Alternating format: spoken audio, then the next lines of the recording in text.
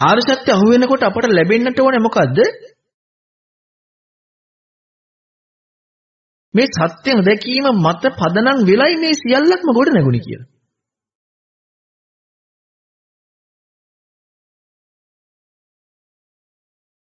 අන්න ඒක තමයි සැබෑම සංස්කරණයෙම අහුවෙන්නේ.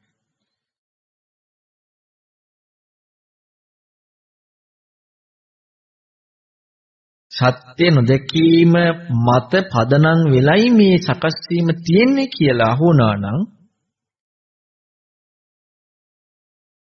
අන්නේ අහුවීම තමයි සැබෑම සංස්කරණය. එතකොට සත්‍ය නොදැකීම මතනම් මේ සකස් වීම තියෙන්නේ සත්‍ය දකිනකොට මොකද වෙන්නේ?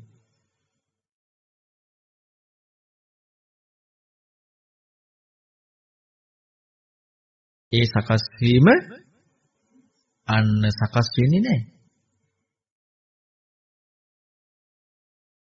එතකොට ශුන්්‍යතාවය මම වින්ද නෙමෙයි.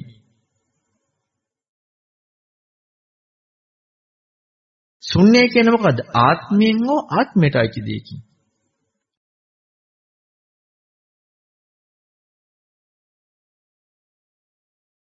අත්තේනවා අත්තනියාවා.